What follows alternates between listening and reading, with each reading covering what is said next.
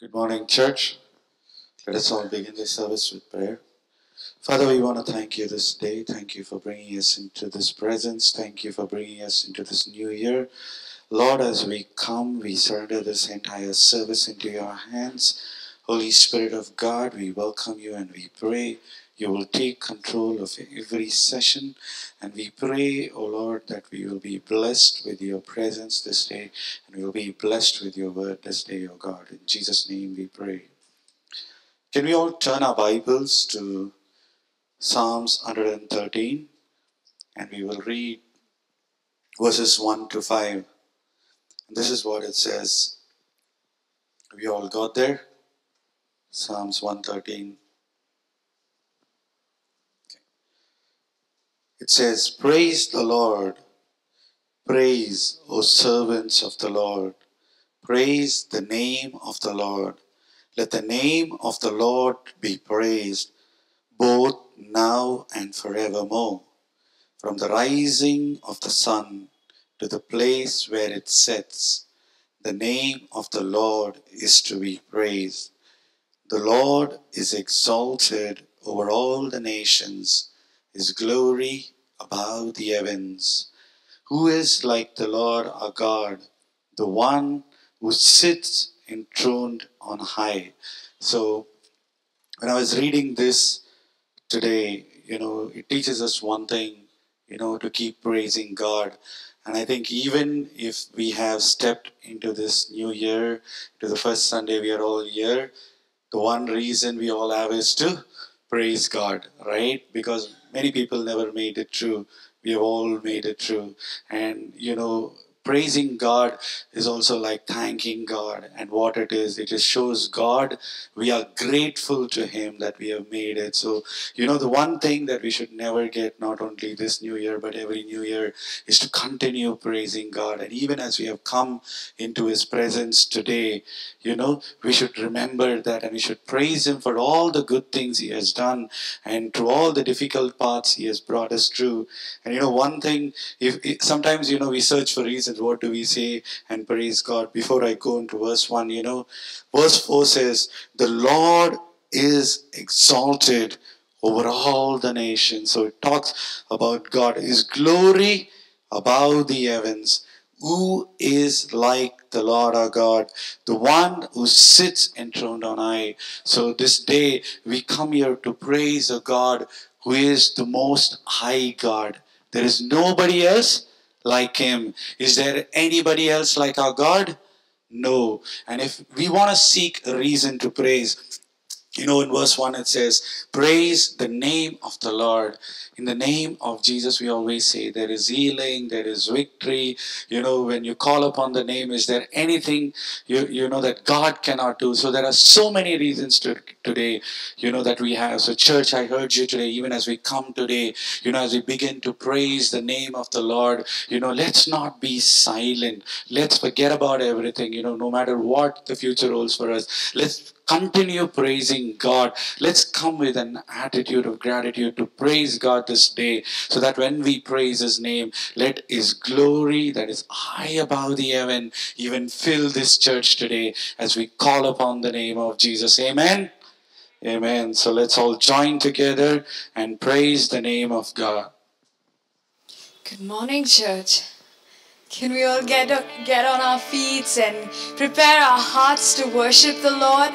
Like Croy said, that, that particular verse rung out to me um, as he was reading that psalm. It says, Let the name of the Lord be praised both now and forevermore. And there was also another psalm that I was uh, meditating on, Psalm 150, and it says, um, Praise the Lord in the heavens and praise the Lord in the sanctuary. So it's not just in the sanctuary that we're going to praise the Lord. There's right now praises and worship being lifted up in heaven, and we're just going to get a bit of a glimpse of what's going on in heaven. And right now, I just hope you're as excited. I know we're all tired, right? I'm very tired.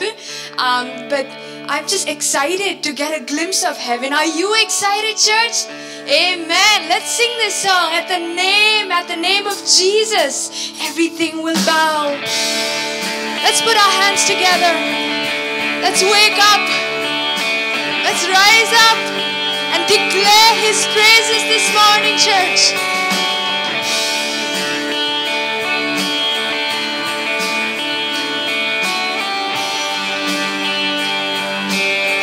Sing it out.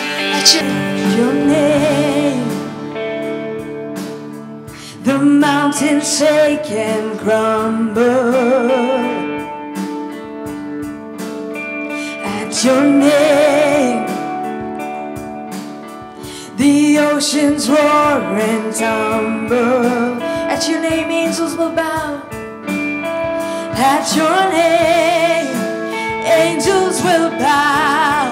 The earth will rejoice. Your people, sing out.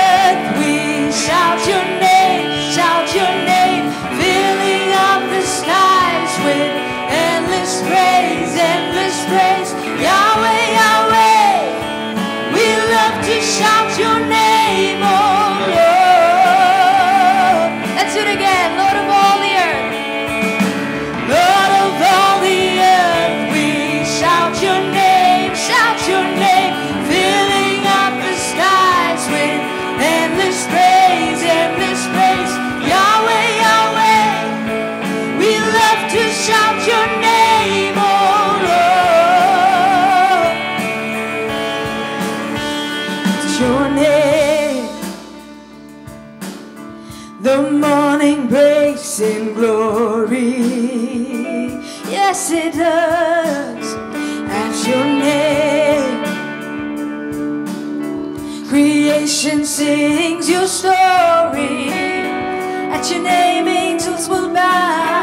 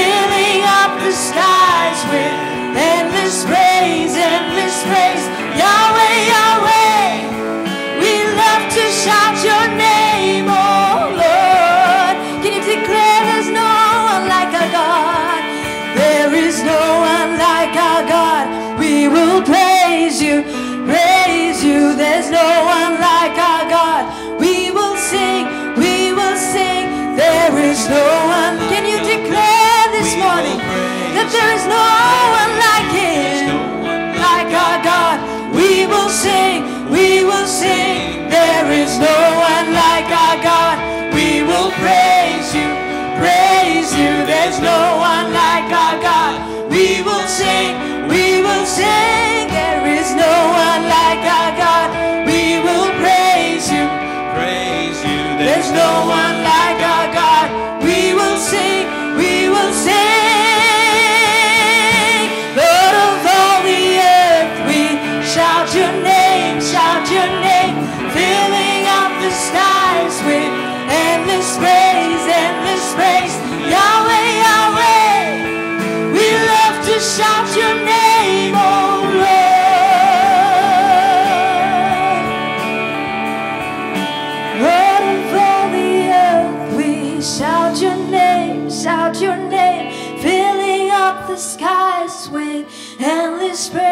endless praise. Yahweh, Yahweh, we love to shout your name,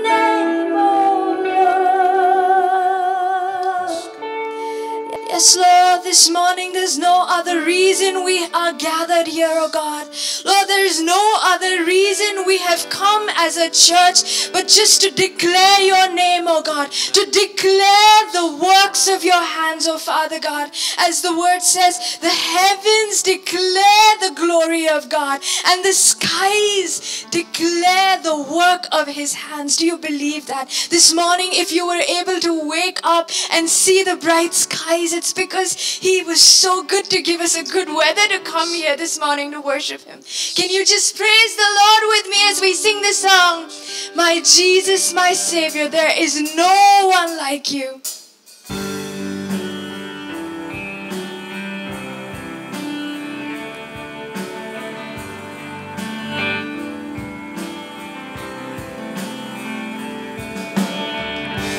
my Jesus, my Savior. Lord, there is none like you. All of my days, I want to praise, I want to praise the wonders of your mighty love. My comfort, my comfort, my shelter, my shelter, tower of refuge and strength. Let every breath, all that I am, All that I am, never cease to worship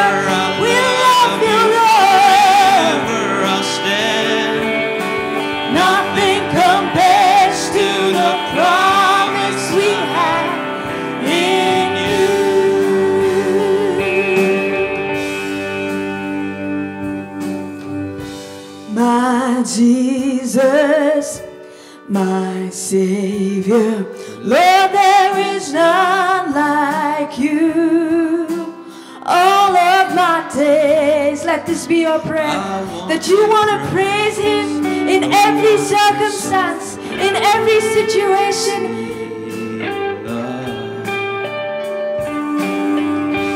My comfort, my shelter,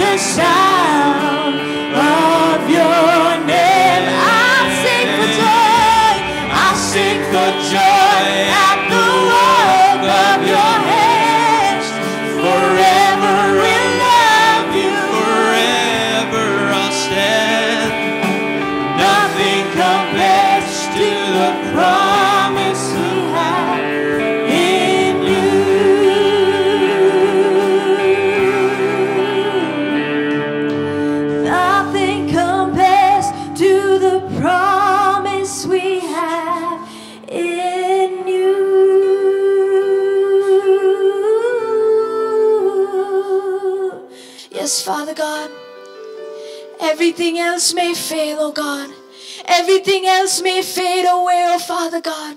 But Lord, you remain forever. You are constant. Your word remains forever, oh Father God. Lord Jesus, no matter what the situation is, you have never failed us, oh Father God. Even this year, Lord, when the previous year, 2021, some of us have had such a difficult year. It's not been easy on us, but Lord, you have strengthened us, oh God. As the psalmist said, when I called you in my day of trouble, you heard me. Jesus, we just thank you. We thank you and we declare that not for a moment have you failed us, oh God. Not for a moment have you failed us, but you have strengthened us. You have strengthened us. Let's do the song.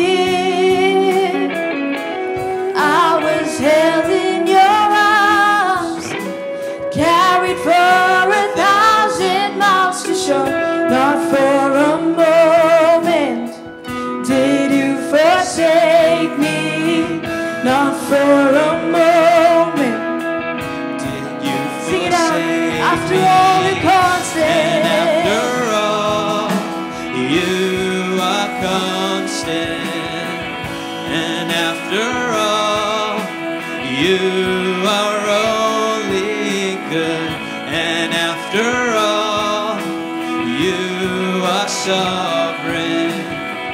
Not for a moment. Will you After all you are forsake constant. me? And after a moment, will you forsake See, after me?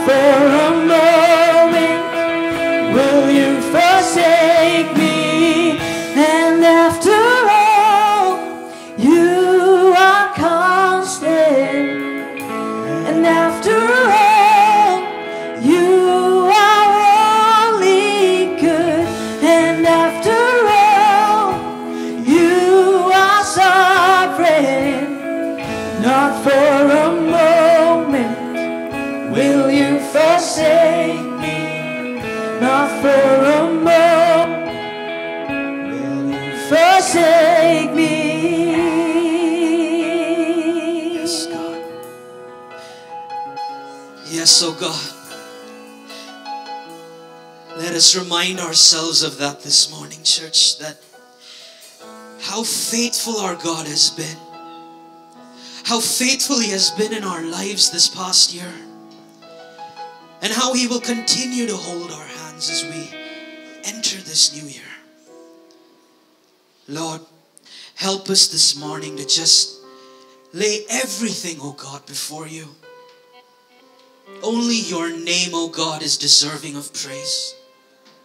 Only the name of Jesus deserves all honor, all glory. Let our hearts worship you, O God. Whatever we are burdened with, O God, Whatever is feeling like chains around our, our legs, O God, just break it, Lord. We will not be the same, O God. We will rise victorious with our Lord. Let's just declare this morning that He deserves the glory. You deserve the glory and the honor. Lord, we lift our hands in worship as we lift your holy. You deserve the glory and the honor. Lord, we lift our hands in worship as we lift your holy name. For you are great, you do miracles so great.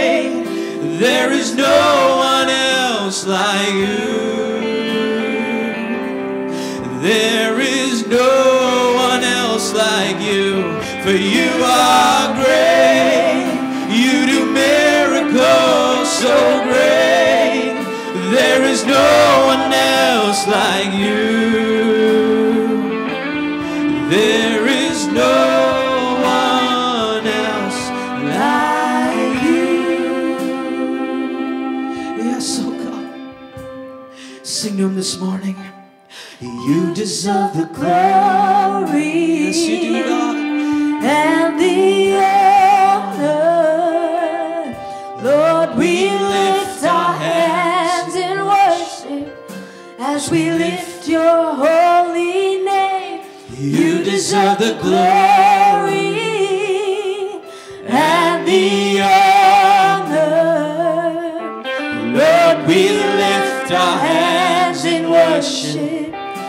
as we lift your holy name. For you are great, you do miracles so great.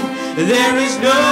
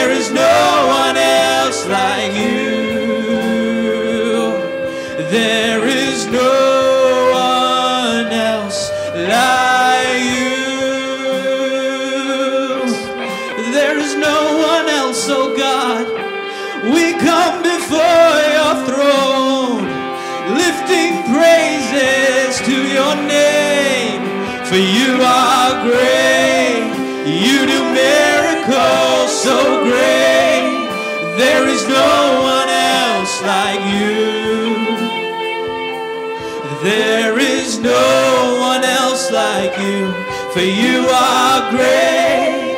You do miracles so great. There is no one else like you. There is no one else like you. There is no one else, oh God.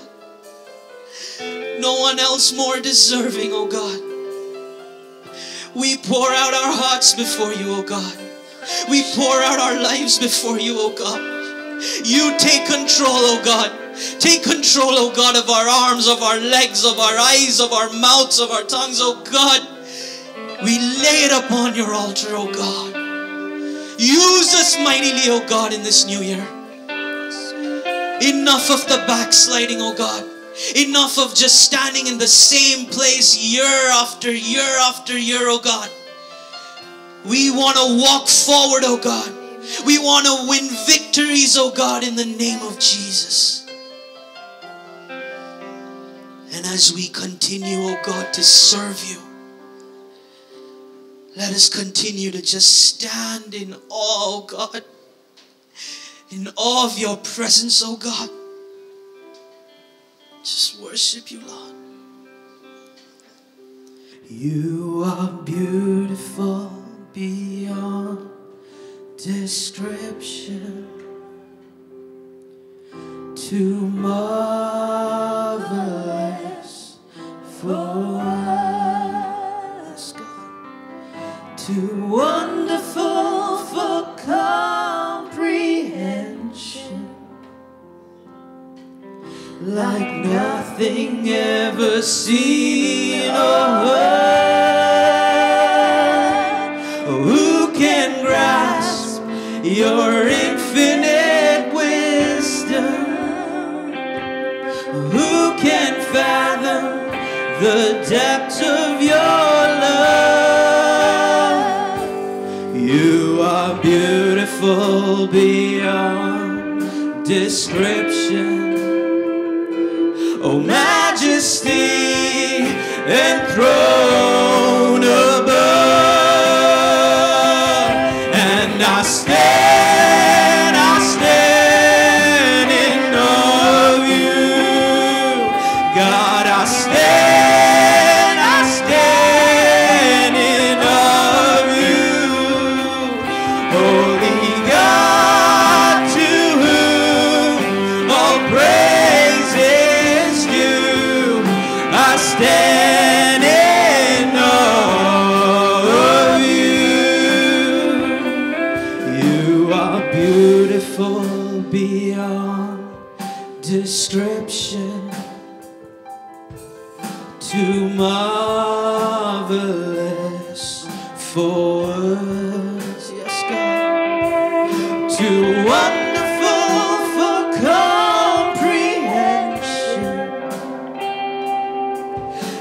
like nothing ever seen or heard.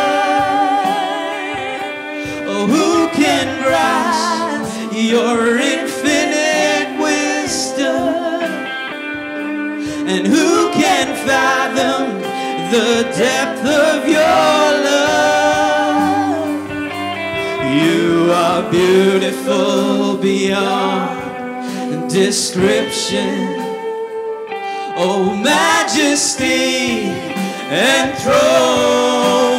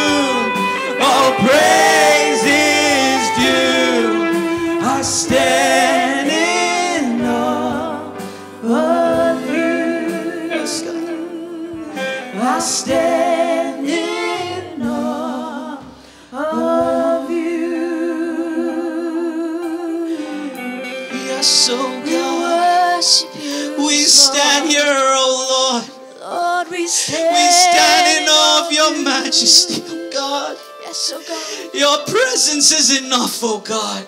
Your presence is enough, oh God, in our lives. We don't look to this world, oh God. We don't need the things of this world, oh God. Your grace is enough, Master. Your mercy sees my feet every day, oh God. Your word is a lamp to my feet, oh God. Lord, we just want a word from you, oh God. We need a word from you, oh God, this morning. As we begin this new year, this new year with our loved ones, with our families, as we're gathered here, oh Lord, as a church, give us a word, oh God, that we can take home and, and just meditate on, oh God. lead us down straight paths, oh God. Help us keep our eyes just fixed on you, Lord, this year.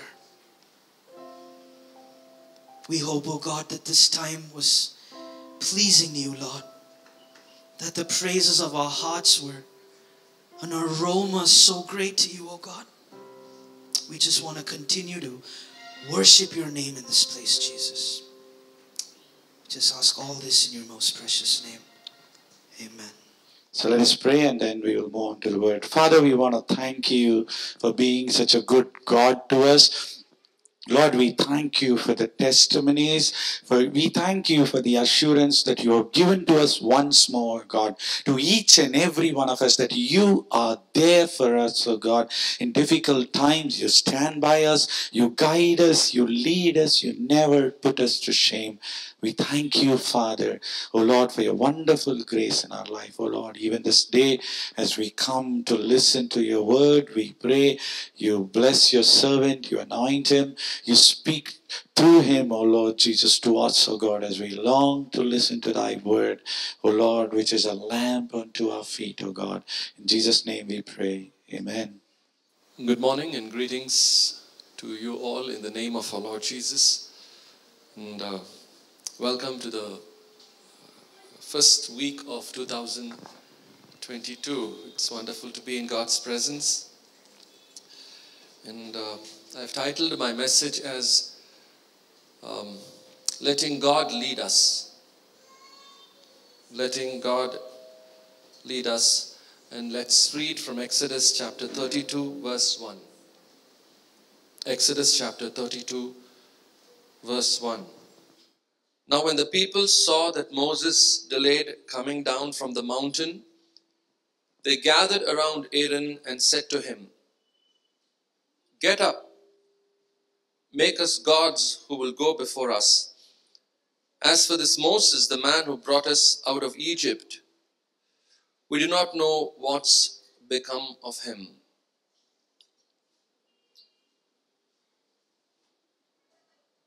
They said, Make us gods who will go before us or who will lead us.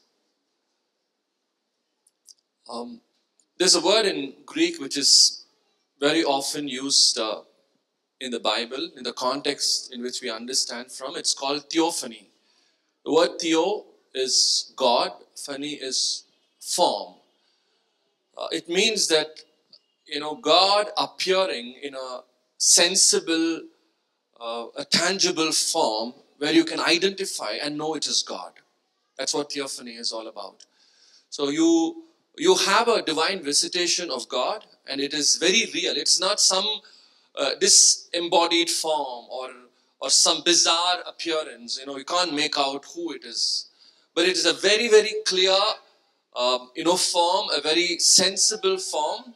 You know, where you know it is really God. And so when God appeared uh, to people in the Old Testament, when you read about God appeared to Abraham, it's a theophany. It means God appeared as a man. God appeared in a real form. They knew that they were seeing God. They knew that they were talking to God. When God appeared to uh, Jacob, uh, uh, when God appeared to uh, Moses, or, or, when when He appeared to all those uh, uh, saints in the Old Testament, which we read over and over again, they all had this divine visitation of God. It's a theophany. It's God appearing, you know, in a human form that you know for sure that this is God. It's absolutely without a shadow of doubt, right?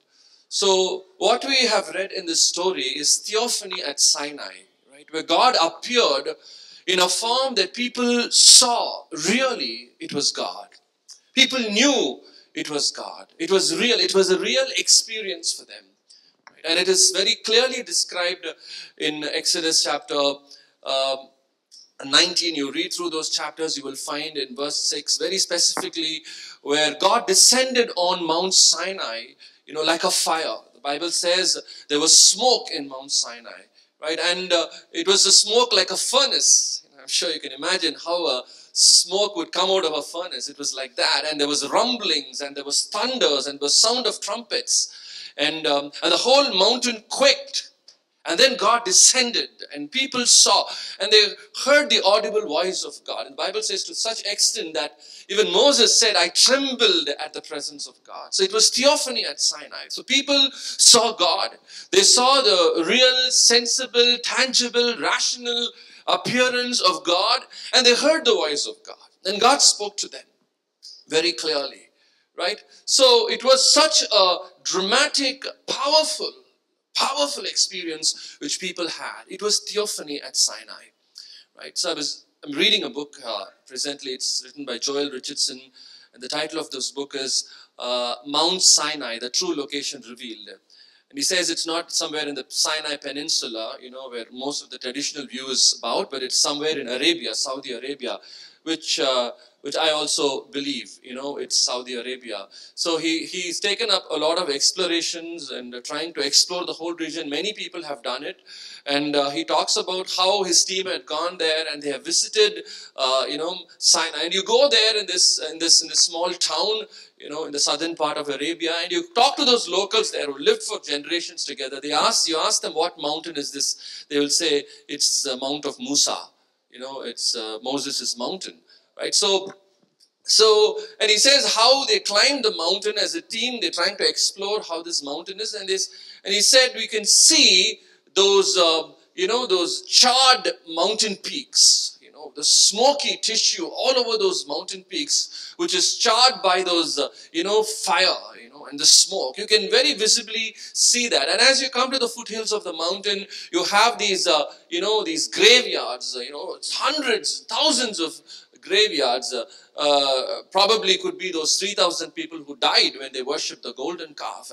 And some of the archaeologists have actually found out there is a huge rock. It's a huge rock that is split right in the middle, split into two. And they call it as the rock of Moses, you know. It's all real. What happened at Sinai, the theophany at Sinai was real. People saw God. People had the experience of having a visitation from God. They heard the voice of God. It was all real, right? And having such a, you know, dramatic and a powerful, you know, a compelling experience of, of having a visitation from God. I mean, you read this, this doesn't make any sense, right? Make us gods who will go before us, who will lead us. It beats you, you know, it kind of boggles your mind. How can somebody have such a powerful experience of God, a real experience of God, knowing that this is really God and having heard the real voice of God, you know, and how can you ignore such such powerful experiences in your life, uh, you know, and then just go back and say, make us gods who will lead us. How could this be possible? Probably you and I in that place would say, we would never would have done that, right? Because having such a powerful encounter, you know, of God should dramatically change your life thereafter. Right? But make no mistake, it's it's pretty common, right? I'll tell you, it's it's pretty common. What is happening here is is is very normal, right? Let's leave alone the fact, the golden calf, you know, factor. You know, that's what probably disturbs us gods. You know, gods, how can you go after gods? But but let's try to understand what is the sense, you know, what is the the, the, the, underlying fact in this whole passage, right? Make us gods who will go before us. Make some gods. It doesn't matter. Make something for us. We are not very specific about this God. Make some gods, but the point is we want to go. We want somebody to lead us forward. We want somebody to, to take us forward. We want to go. Moses is dead. We have been waiting for him. Moses is dead, so we don't have a leader to lead us. So make some gods for us, but we want somebody to take us from this place. We want to go forward. We want to head to the promised land. All those promises that you have been talking to us about. We don't want to be in this desert for too long. We've already had a tiring journey of three months traveling from Egypt. You promised us that God is going to take us to a land flowing with milk. And Take us there soon. Make any gods you want, but take us. We want to go forward. Let this God lead us forward. That's the point. So, what the people seeing here is that it's nothing strange. They say, We want somebody to lead us where God has promised. there is a tendency to go ahead of God. There is a tendency to miss God in the pursuit of our blessings, in the pursuit of the promise. Let's say, for example, we have all entered 2022 with great expectation, right? I'm, I've entered 2022 with a lot of excitement, with so much of expectation. We have all great expectations. We we are hoping that God should do something for us in 2022, which probably He hadn't done in 2021. Right? That's why there's so much of expectation. That's why there's so much of excitement about this new year.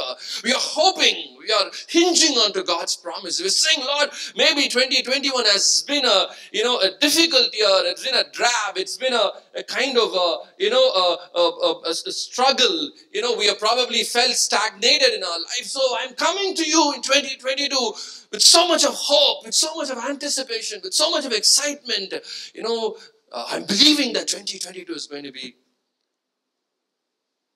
something great, right? So you're entering 2022 with a much greater expectation than you lived 2021, right? Maybe it's your job, right? You've been expecting a breakthrough, a promotion, you know, something to change in your job in 2021, and now you're in 2022 with much greater expectation, right? With much greater expectation. You know, hope, with much greater hope, that something is going to happen in this new year, which God didn't do for me in 2021. It could be something, there's something very personal, you know, it could be something, you know, about your family or some kind of a change or circumstantial change that you're looking for. You know, you're expecting something new to happen, which you expected to happen in 2021 and now in 2022. Lord, I want something new to happen, right? Maybe you've gone through humiliation and, uh, you know, a, you know, bit of a, uh, you know, uh, depression. It's been a very sober year and you want God to vindicate you. You want God to turn things around for you in 2022, right? So, what happens when these expectations become elusive? When you're expecting something to happen and uh, it just goes out of your hand, it's not in your grasp. So, what happens? You get back to survival mode, right? All the ex- excitement of that New Year service, all the ex- excitement of that, you know, starting the year with such great hope, just dissipates into thin air. You're back to your rut. You're back to your survival mode. And then you begin to have this, you know, this sense of dissatisfaction and discontentment when it's going to happen. When, God, are you going to change my circumstance, right? That is when, that is when precisely what happens is we miss the presence of God. We miss what God is trying to do presently in our life. What is God doing? His presence. His presence means He is present with us now. When you say His presence, Lord, I need your presence means He is present now. We want Him now, real, tangible, in our midst, right now, in my present circumstance. And I want you to lead me now. Most often, what happens is that we try to look to the future, we try to have those expectations. Then, all of a sudden, when things get stuck up, we, we miss. So, there is a tendency for God's people to miss God's presence. In pursuit, when we blindly pursue His promises, those expectations. There's a problem, there's a pattern right through in the life of the people of Israel. Why are you not taking us to, to Canaan? You know, why are we stuck here in this desert? You know, where is that you promised? Why are we eating these, uh, you know, this manna, this colorless, odorless, insipid, tasteless food, manna? You know, where is this land flowing with milk? How long are we going to wait? So there is a building up, frustration, you know, as it begins to build up. Begin to miss God and they want to move. We want to go. Let somebody lead us. We want to go forward. We want to get to the place where God has promised us. That's that's the problem here. But I want to tell you, people of God, it's the presence that precedes the promise of God. Always remember, always remember the first priority in your life is that God, I want you now, present in my present, in my life. I want your presence to lead me and guide me, to teach me. I want you now. It's the presence of God that takes you to the promise, that takes you to the blessings, that helps you fulfill all your expectations, your dreams, your ambitions, your joy. It is the presence of God. That's why in Matthew chapter 6, verse 33, God said, Jesus said, Seek ye first the kingdom of God and his righteousness, and all these things shall be added unto you. Make no mistake. Sometimes we think when all these things are there, then God's presence is there. No. We sometimes think because I miss those important, legitimate things in my life, these are so important to me because it influences my, my very life, it influences my joy. When joy is affected, my peace is affected. You know, the things that I need is still missing. So all these things, when all these things comes to me, that is the guarantee that God is there in my life. His presence is there. No. The Ambanis have everything. They don't have God. There's so many people out there who have all these things. The Bible says that seek ye first the kingdom of God. But as God's presence comes as a priority in your life, and then all those promises just gets added on to you. That's what the Bible says. So, point is, God should be with us. Right? God was with Joseph. The Bible keeps on repeating, right? God was with Joseph. God was with David. All those circumstances were not easy circumstances when they are talking about when God was with Joseph in the prison. So, what I'm trying to build on this morning is that it's the presence of God that precedes the promise of God. That's the mistake. That as God's people, we get ourselves into this problem where we miss the presence of God in our lives. Two reasons. You know, I read from this story, I can find two reasons why why we can inadvertently, carelessly, we can slightly get ahead of God. One reason is it's it's pretty common. We can read that from Exodus chapter 32. It's there in verse 1.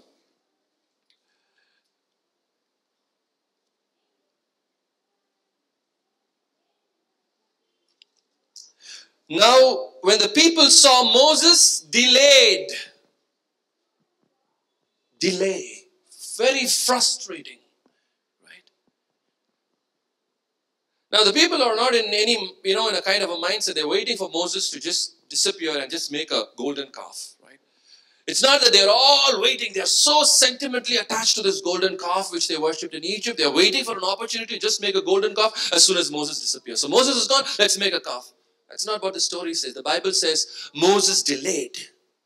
They've been waiting for Moses for 40 days, 40 nights. It's been a long time. Moses had gone. It's been delayed for a long time. We just can't be sitting like we got to do something about this. Moses is gone. They waited and waited and waited, and because it was a delay, an agonizing wait is making them to move ahead of God. It's an agonizing wait delays, I tell you, it's so frustrating, right? We get sometimes we miss God by a whisker. We miss God's timing like that. We miss God's, you know, divine visitations like that. When God wanted to do something, we somehow we prematurely we try to do things and and muck up the whole, and then God has to restart the whole process again because we are very frustrated. All of us go through frustrations when things get delayed. The rabbis have a very, you know, I, you know, they have an amazing understanding of the Old Testament scriptures. You know, I've I've had these courses, sat with these rabbi, and I've listened to him. I mean, they know the scriptures by heart because I think in a day when they go through these, uh, you know, these uh, Yeshiva trainings, I think 17 hours they just read the scriptures, they just meditate and memorize. They know the Bible from cover to cover, and they can give you the dates, the timings, and, and so insightful sometimes when you listen to what they are saying. And uh, the rabbis, the, the Jewish scholars say, you know, the, the, the golden calf was made on the 39th day. And Moses came down from the mountain on the 40th day. So, in the according to the Jewish calendar, it was the 16th day of the month of Tammuz. Tammuz is uh, the month of June and July, according to the uh, English calendar. So, it was on the 16th day of the month of Tammuz in the afternoon. They set up the golden calf on the 17th day morning. Moses came. And some somewhere they miscalculated. You know, they knew that Moses is going to come back in 40 days. That's what they say. It's not there in the scriptures. But somehow they miscalculated because they did not count the first day and they become so impatient. On the 16th day on the month of Tammuz in the afternoon, they set up the golden calf and then Moses shows up on 17th day. Sometimes you miss God by a whisker. Just like that. That's how circumstances come into our life. That's how sometimes even the devil has sometimes tried to frustrate us and and make us to a place, bring us to a place where we where we feel that God is not moving, then we have to move something and make it happen.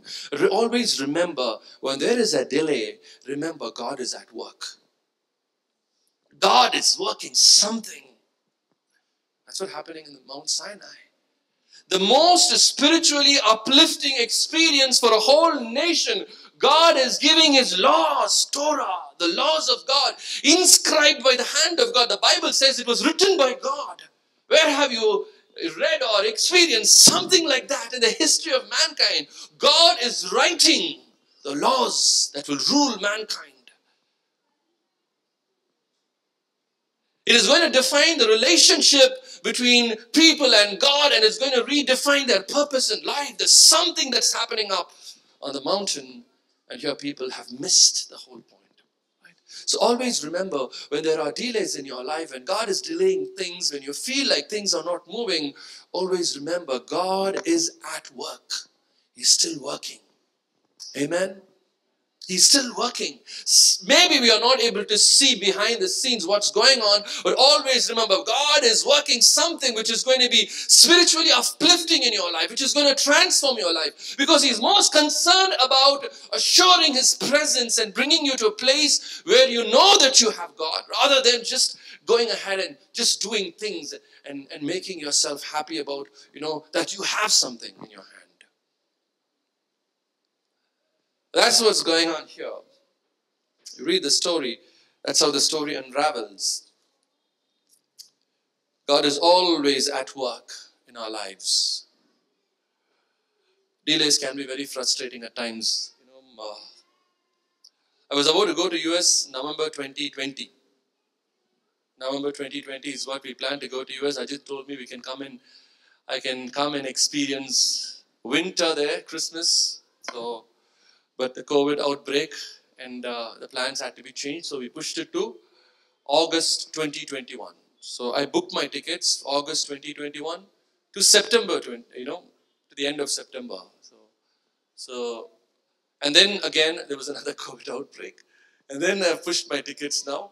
You know, and uh, it was going to go through a hassle because Lufthansa said you can have a one year you know time period to reschedule. All the flights were cancelled. Nothing was going. So so worked through. And janet only helped me finally because i couldn't speak to those guys in hindi. They're being so impatient. I can't even explain to them. So so we rescheduled the flight. And uh, now it's april to may 2022 right? Imagine i i have a return flight ticket fully paid. I've been holding this ticket for more than a year and i can't go to US. I mean, unless it is God's time, nothing will work in your life. You understand that? Unless it is God's time, He moves nothing. So frustrating sometimes. But you believe that some good is coming, and in between, what happened? Prince has gone to Germany. And it so happened the Lufthansa is, you know, my stop is in Frankfurt, and uh, it is only much later. You know, after I booked my tickets, I told Prince, it so happened now you are in. Prince said, no, no, you have to come to Germany. So now he has done something. He's he's made my stop in Germany for a, for a week, for nine days. Okay. And then two days back, three days back, I was talking to my friend in in um, Connecticut. So I was casually telling, I have this ticket for two years. I've been waiting. You know, I'm going to come there I hopefully, I think I'll come there in April. He said, You're coming to US? I mean, you have to come and visit me in Connecticut. I said, uh, Yeah, it'll be nice. No, it'll not be nice and all. You're coming and I'll take care of everything.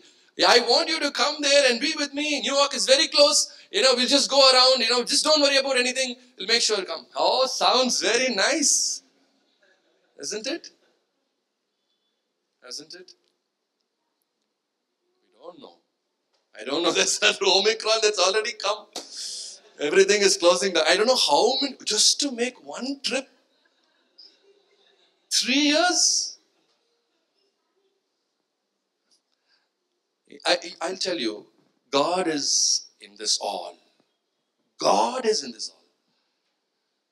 So I'm not very disappointed because I'm very clear if there is a purpose, you know, and if it is God's will, and if He's delaying it, He's working out something better for me. Maybe another two more stops are going to be added, that's all.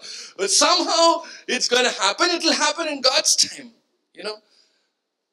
That's how frustrating life can get. But all the time you need to make sure that I'm I'm just want to be there in God's presence, led by God. I'm not going to go ahead of God's timing. I'm not going to go ahead of God's timing.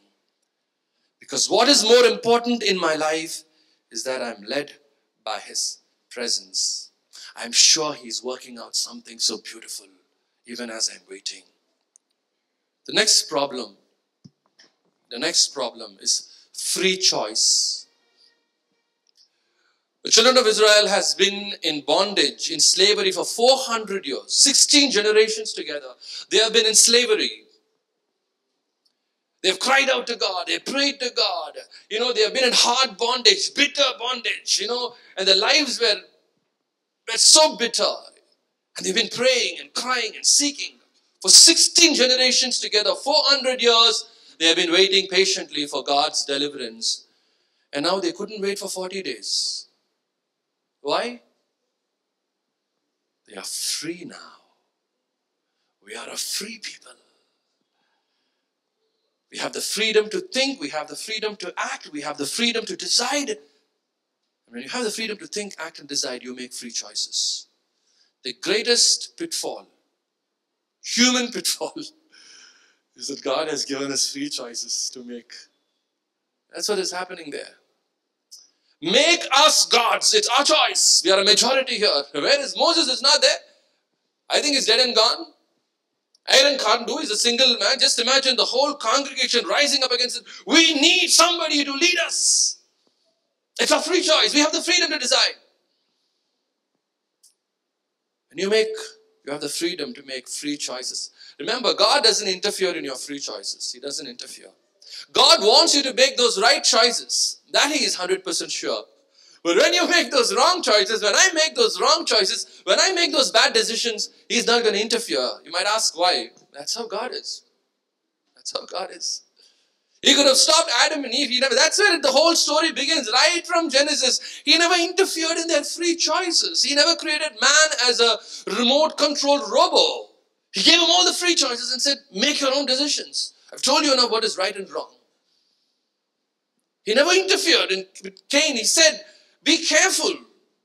Sin is waiting at your doorstep. He went ahead and killed his own brother. God never interfered. And then, when the consequences come, he comes and shows up. Didn't I tell you? Why, Lord, why don't you just come a little ahead of time and stop us from making those mistakes? I wouldn't. It's not fair. You shouldn't be like that. But that's how I am. That's my nature. I wouldn't interfere in your free choices. Why God wouldn't have, God should have stopped the people from, you know, from building this golden ark. Why didn't he stop them? He waited for them and then he comes, he shows up. All those free choices, those bad decisions, the things that we sometimes do without consulting with God, without waiting for God, without listening to God, without taking the time to keep God in our scheme of things, without sincerely seeking God, without that, when sometimes we make those decisions come back to haunt us. I've done a lot of mistakes like that. I'm sure we all make mistakes like that. And that's why we need the presence of God. There's something that's going to lead us into this year 2020. It's the presence of God. It's God. Without God, I'm not going to take a step forward. 16th of the month of Tammuz, the afternoon they made the golden calf. The Jewish history says that you know, it came back to haunt them. It- it's one of the worst horrendous sin that the people of Israel committed. It happened right at the foothills of Sinai, the very same place where they had the theophany, the very same place where they had the encounter with God, the very same place where they saw God, they heard the voice of God. God came down to them, the very place they disgraced God. It came back to haunt them. They say on the very 16th month of Tammuz, you know, history repeats itself. The Babylonians came and destroyed the walls of Jerusalem. You read that much later, right? It happened on the 16th month of Tammuz. The Romans came and destroyed the temple of Jerusalem. It happened on the 16th month of Tammuz. So you find that, that all those bad decisions where people have done without consulting God, without honoring the presence of God in their midst, without honoring the presence of God in our lives, sometimes it comes back to haunt us. So, what God is telling us, God is telling us that we need to prioritize His presence.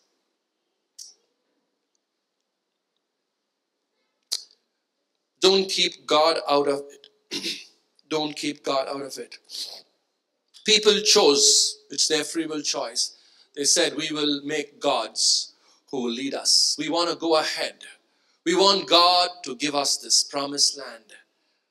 This is what you have promised. We hold you accountable for what you have promised. Don't we do that sometimes? When we hold God accountable for what? And we think it's faith and we express it so powerfully for Beggarman. You have to do it because you said it. We hold God at ransom because He said something. That's God is just trying to test our hearts to see do you want what I have said or do you want me? That's where it all boils down to at the end of our lives. People made their choice. They said, We want to go ahead, make us God, make us gods. We want to go ahead. But Moses has made his choice. Moses has made his choice. He said, I want his presence. That's what Moses said. Let's read that. Let's read that. I want you to read this carefully because there's something that I'm going to pick up from this. It's very important for us to understand the scripture. There are a few verses. I want your full concentration as we go through these verses. This is Moses' choice, right? Let's read from Exodus chapter 33. Let's read Exodus chapter 33, verses 15. Exodus chapter 33, verses 15.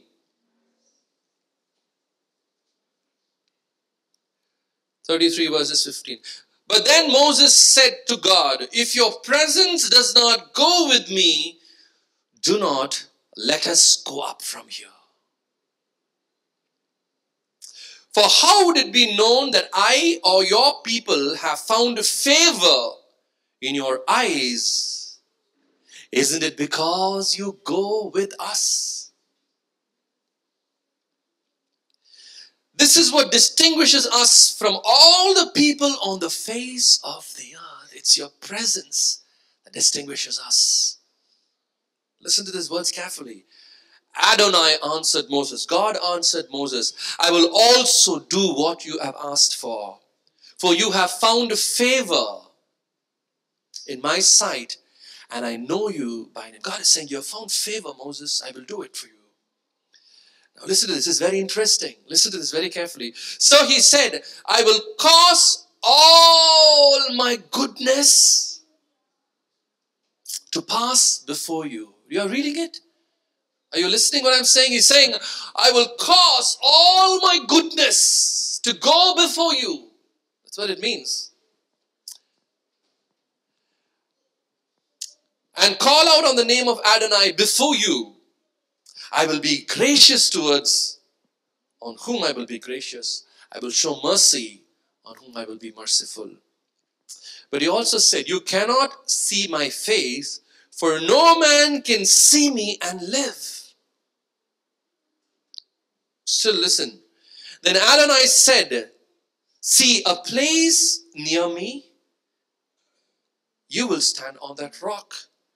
While my glory passes by, it passes before you, it passes ahead of you, as I go before you. I will put you in a cleft of the rock and cover you with my hand until I have passed you by. Then I will take away my hand and you will see my back, but my face you will not see. Moses is very determined here. He's made his choice. He said, Lord, unless your presence goes, I'm not getting out of this place. It doesn't matter if I have to stay in this scorching wilderness, no man's land. You know, if it's if it's if this is where you want to keep me, I will still be here. Unless your presence moves, I'm not going to move from here. He made his choice very clearly. And then God says, You have found favor with me. I will show you how I'm going to go before you. Because you made your choice, Moses, because you decided that you want my presence, I'll show you. You cannot see me, my face, because no man can see me, but I'll show you how I'm going to go before you. I will let all my goodness pass before you. Now see my back. I'm going ahead of you. I will let all my goodness pass before you. I will show mercy on whom I will show mercy. I will show grace on whom I will show grace. And God passed before Moses. As he's going before Moses, he's proclaiming. He's proclaiming that he is a God who's full of mercy. You know that it happens in the next chapter. You know, go home and read that. In chapter 34, verse 6, it says, Then Adonai passed before him and proclaimed Adonai, Adonai, the compassionate, the gracious God, slow to anger, abundant in grace and mercy and loving kindness, who extends his grace and mercy to thousands of generations. You understand? Because you have chosen my presence, Moses, because you are so adamant, because you are so determined that you want my presence. Now, see, I will let all my goodness pass before you.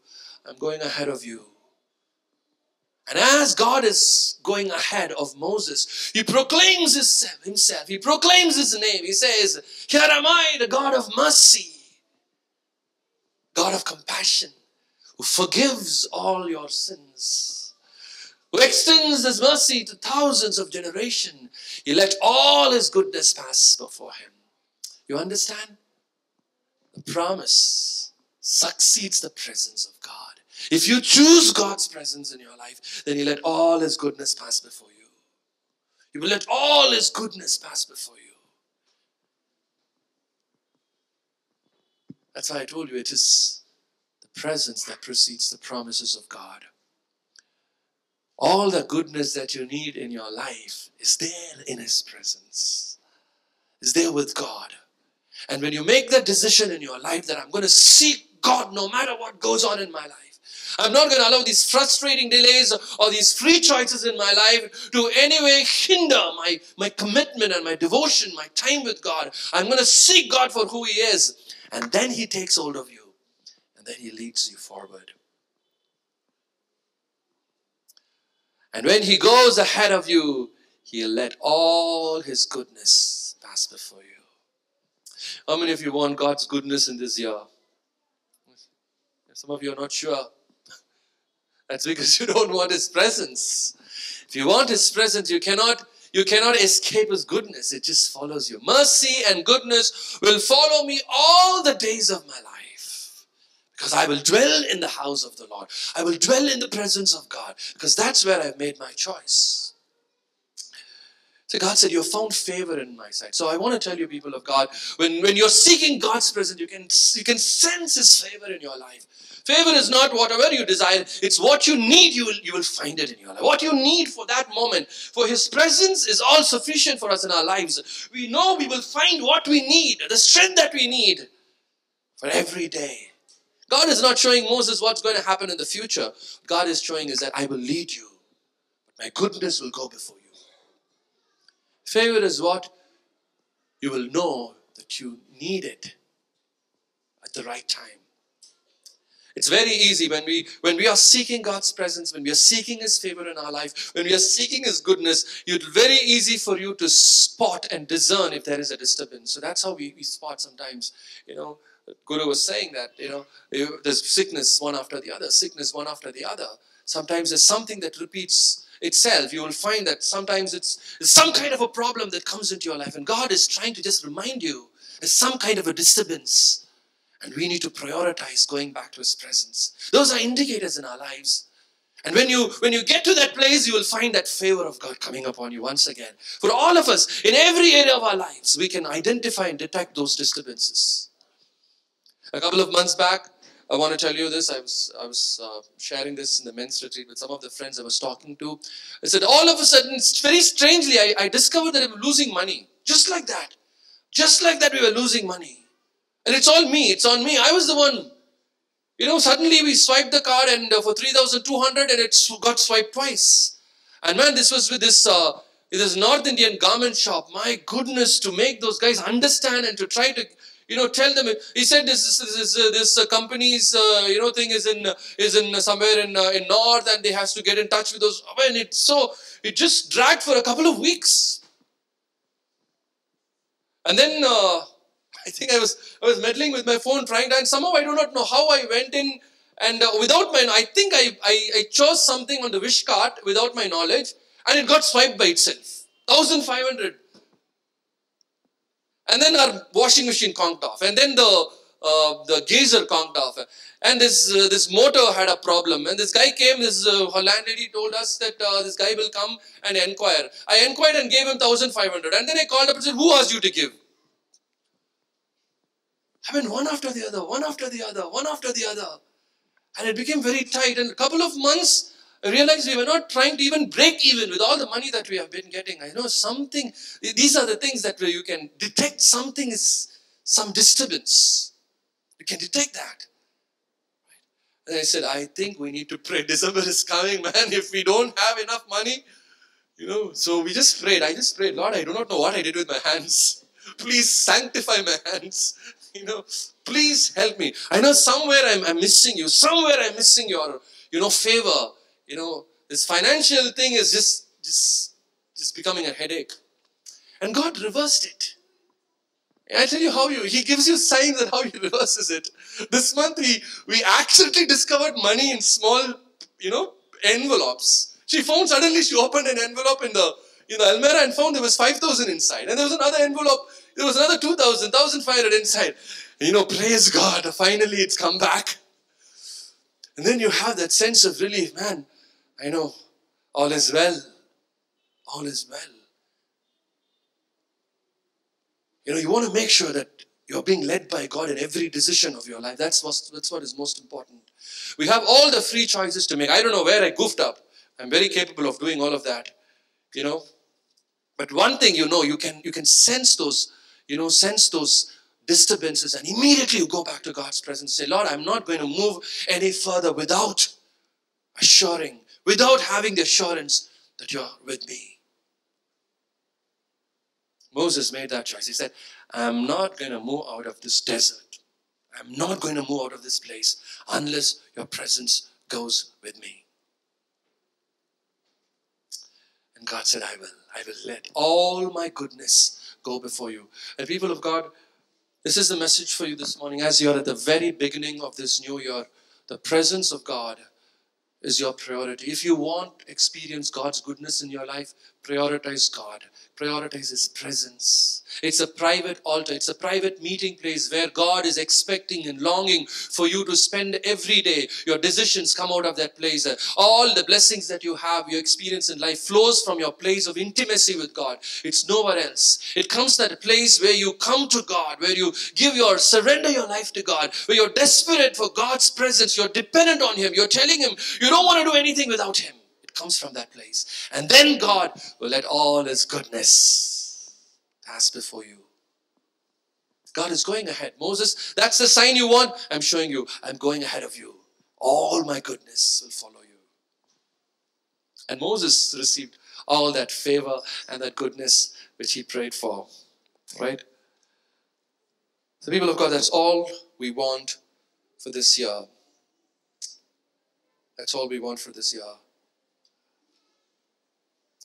There are many revival. I'll just close with this illustration. There are many revivals that happened. We all know in the 19th century. You know, Welsh revival, Cambridge revival, Scottish revival, and as a result of all those revivals, many denominations were formed. Now you find many denominations are a result of so many revivals that happened in those in those centuries. You know, there was one such revival, and this Church of Nazarene was one of those. You know, one of the denomination that was formed out of that revival and uh, and uh, it was such a powerful you know people when they gathered during those times in church of nazareth there was a such powerful presence of god was felt. And it was said that even the lost people when they walked into the church they will go back converted. Nobody it was just not an accident. Nobody can just be in the church and, and just be the same. It was such a powerful presence of god. It was much like a theophany that people met god you know when they walked into the church. And there was a founder, this founder of the Church of Nazarene was uh, Phineas uh, Bresee. And he always preached, uh, and he called that the glory of God. The glory, you know, God's presence came upon people, right? And um, and um, and during his, uh, he was the one who was initiated that that movement, you know. And uh, during his last days, when he was when he became old, and uh, you know, during his uh, last days, he went about preaching just one sermon. And the sermon title was all about keep the glory down. Keep the glory down. Because he began to realize that as it all started, the movement started in his early days, as he found it, he began to realize that it's all fading away. It's possible for people to miss God's presence. The experience, the such powerful experience that we once had, it can uh, it can be yesterday, but we, you know, yesterday's glory can pass away, and we might be still living in yesterday's glory, not realizing that God is not present with us today. So he realized that that's what is happening to the organization, that's what is happening to his church. So during his last days, he just kept preaching one sermon everywhere he went. You know, Phineas Bresee, he says, Keep the glory down, let it not pass by. Keep the glory down. Keep the presence of God in your lives. Keep the presence of God in our churches. Keep the presence of God in our families. Keep the glory down, let it not pass by. Keep the glory down. Keep His presence in our lives. That's the message I want to leave with you, people of God, this this morning, let's keep His presence in our lives. Let's not assume or think or take it for granted that God is with us. Remember, thinking that Jesus was in their company, they traveled on. Quiz, where is that found in the scriptures? It's a quiz for you. A question. Thinking that he was in their company, they traveled on. Ben, where is it? Oh, good. And Mary and Joseph and all the entire caravan, all of them thinking Jesus was in their company, they traveled on. Where was Jesus? They were not aware of it. They were not aware of it. Let's not think. Let's not presume. Let's not suppose. Let's not take for granted. You understand? Let's pursue God's presence with all our hearts. Let's pursue God. Because when you pursue Him, in this year, you make the decision. When you pursue God, when you uncompromisingly set up that private altar in your life, it's a time with you and God. That is where your life is beginning, and that's where you want to continue. It's the presence of God. Then God will let all His goodness pass before you. Amen. Let's pray. With the grace of our Lord Jesus Christ, the love of the Father, and the fellowship of the Holy Spirit be with us, especially this year 2022 and forevermore. Amen. Amen. Let's give the Lord a glorious hand of praise.